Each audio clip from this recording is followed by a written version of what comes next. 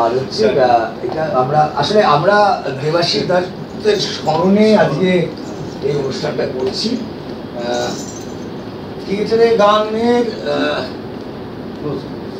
যদি যদি থিয়েটার গান নিয়ে কথা বলতে হলে দেবাশিস দাসগুপ্তকে বাদ দিয়ে বাংলা থিয়েটারের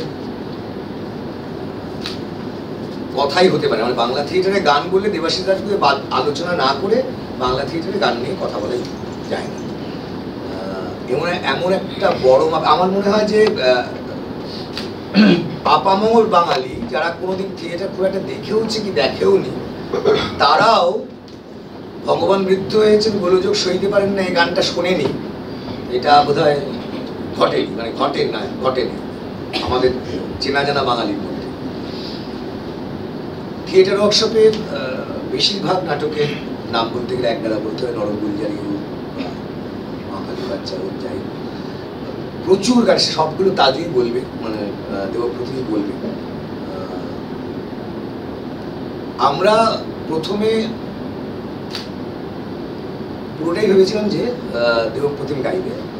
কিন্তু তারপরে আমরা নিজেরা ভাবলাম যে আমরা বেলঘরিয়া রূপতাপস থেকে অন্তত দেবাশিস দাশগুপ্তের প্রতি আমাদের নিজেদের থেকে একটা কোনো শ্রদ্ধা জানানোর প্রয়োজন, একটা কোনো পারফরমেন্স যদি আমরা না করি, সেটা আমরা তো থিয়েটারের মানুষ, সুতরাং আমাদের পারফরমেন্সটাই আছে। আমরা সেইটা দিয়েই অন্তত তাকে শ্রদ্ধা জানাতে পারি।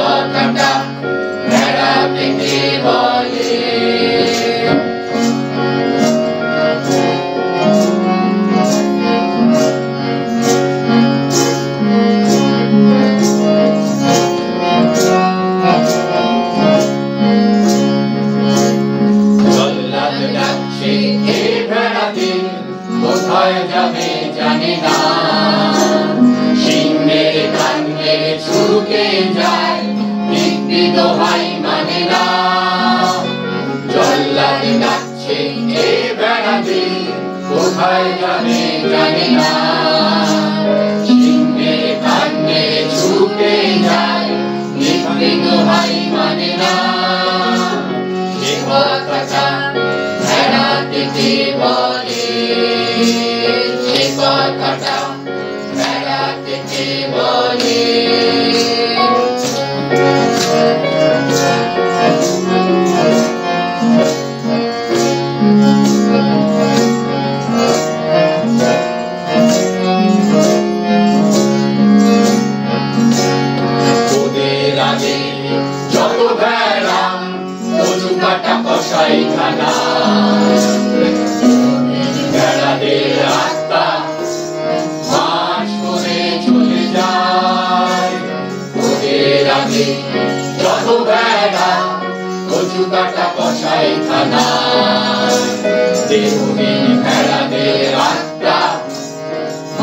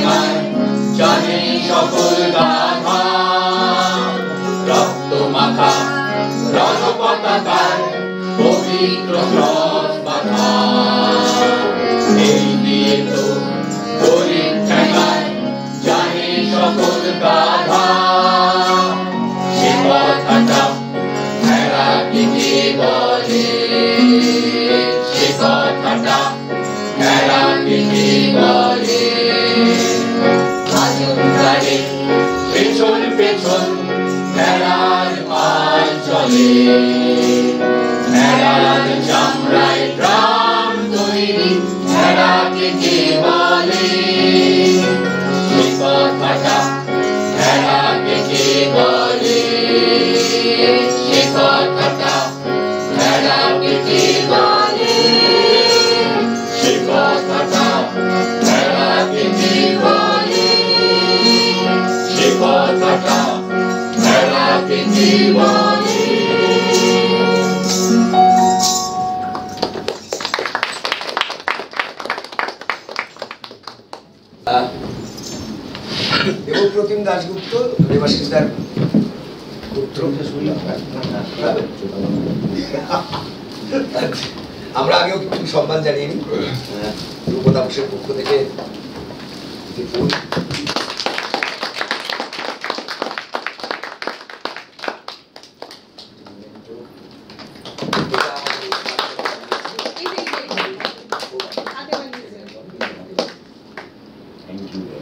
আর এটা হচ্ছে আমাদের বর্ষীয় পাঁচ বছরে আমাদের যা থিয়েটারে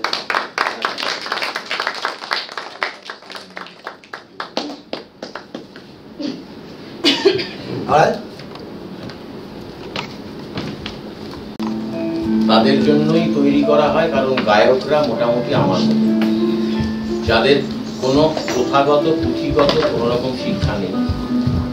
সেইভাবে গান আলাদা করে শেখা, তালিম নেওয়া কোনোটাই হয়নি এইরকম কিছু মানুষের জন্য থিয়েটার যখন গান গাইতে হয় বা সুর করতে হয়, একজন সুরকারকে মাথায় রাখতে হয়, কাদের জন্য সুর করছি, কারা পারফর্ম করবে?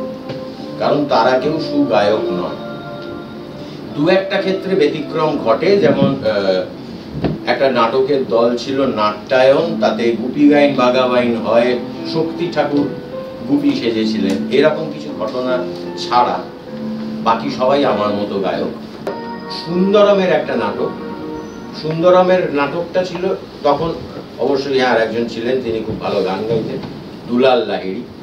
নাটকটার নাম ছিল মেষ ও রাক্ষস। সেই নাটকে দুলাল কাপুর রাক্ষস সাজতেন এবং রাক্ষস সেজে তার মাঝে মধ্যে খিদে পেত, মানুষ খেতে বেরোতেন এক একবার এক এক রকম ধরে কখনো সাধু। অবশ্য সেটাই ঘটে সাধু ভেগ ধরেই শয়তানরা আসে। সেটা এরকম গানটা। সেজে আসেন সাধুর পোশাক কিন্তু ওই মাথায় ওইগুলো একটু সাউথ ইন্ডিয়ানদের মতন করে দেওয়া। ফলে গানটাতেও একটা ওই সাউথ ইন্ডিয়ান বিষয় ছিল সুরের মধ্যেও।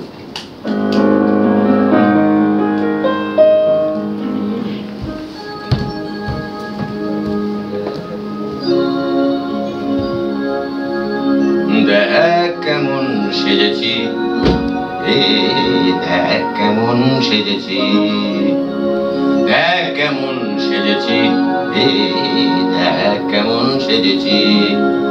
আরে ওরে সুবল, ওরে সুদাম, ওরে সুবল, ওরে সুদাম, দেখ কেমন সেজেছি।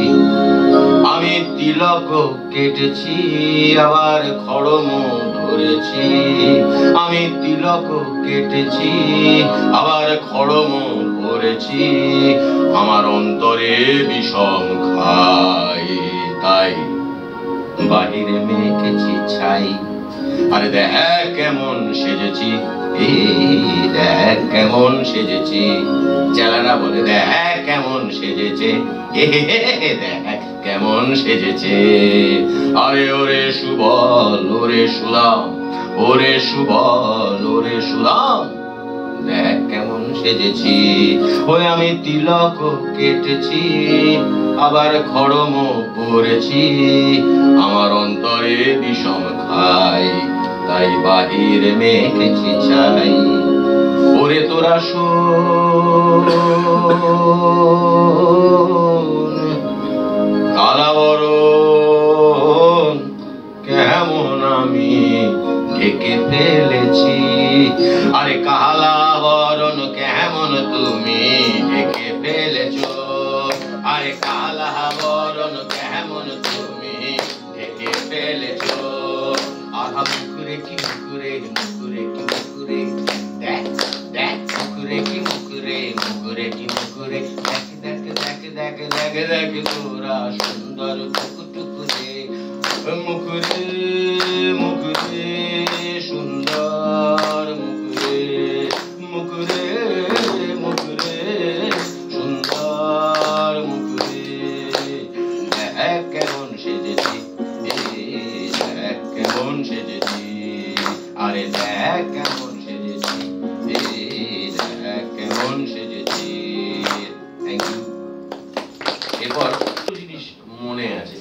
ফলে আর একটা ছিল কোন নাটকের খেয়াল নেই।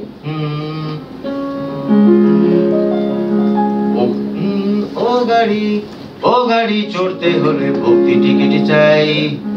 চেয়ার, বেঞ্চি পাতা আছে, বসতে পারো ভাই। ও গাড়ি চড়তে হলে ভক্তি টিকিট চাই। চেয়ার, বেঞ্চি পাতা আছে, বসতে পারো ভাই। ও খেপা মাধব বলে। মনের ভুলে রিটার্ন টিকিট নাই কাটিলি। ও খেপা ঘুমিয়ে পড়লি, ঘণ্টা পড়ল টিকিট কাটলি না। আসছে গাড়ি নাই কদেরি ও খেপা ও খেপা, আসছে গাড়ি নাই কদেরি ধোয়া গোটে গো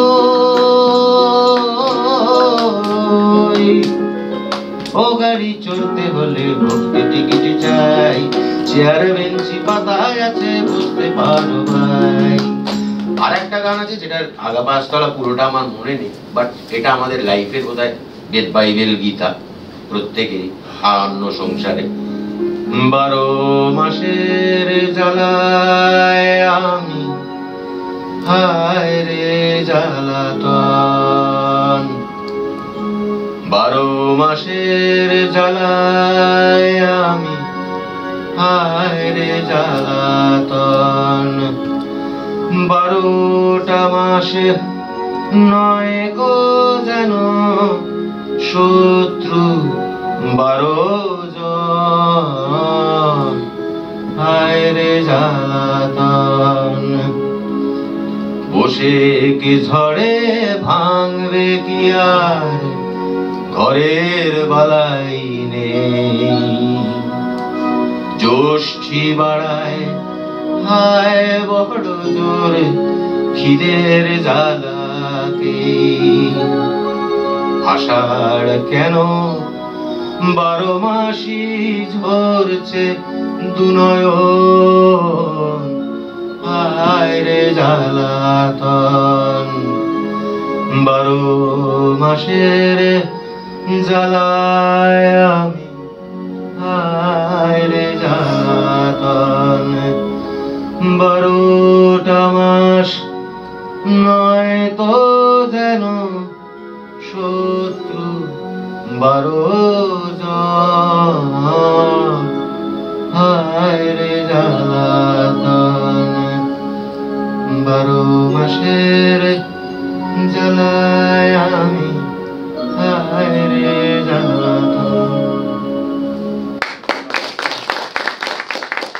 আমাদের প্রজন্ম মানে আমাদের প্রজন্মটা হয়তো এগুলো পেয়েছি লাস্ট তারপরে পরের প্রজন্মগুলো খুব একটা গান শুনেও হ্যাঁ ঠিক এই এই এই কথাতেই যেদিন আমাকে ফোন করে আহ, তুমি কি পারবে? আমি এক কথায় বললাম আমি পারব।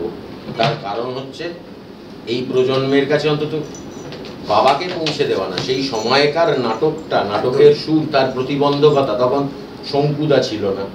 তখন অক্টোপ্যাড ছিল না, তখন যা ছিল ওই একটা হারমোনিয়াম, একটা ওই আমরা জানি আমাদের নাটকের সীমাবদ্ধতা কি, কতটা। সেই সময় দাঁড়িয়ে যে নাটক বা যে গানগুলো তৈরি হয়েছে, সেগুলো যে মুহূর্তে বলে, একদম লোক পাক এক ধনির মতো আমি আমরা আমরা এটা ঠিক, আমি ঠিকই করেছিলাম যে এটা বোধহয় আমাদের এই চর্চাটা যদি না রাখি, তাহলে আমাদের নতুন প্রজন্ম বোধহয় শিকড়টাকে আস্তে আস্তে ভুলতে শুরু করবে। সেইটাকে যাতে বাঁচিয়ে রাখা যায় উচিত। আমাদের আমাদেরই তো দায়িত্ব পড়ে সেটা।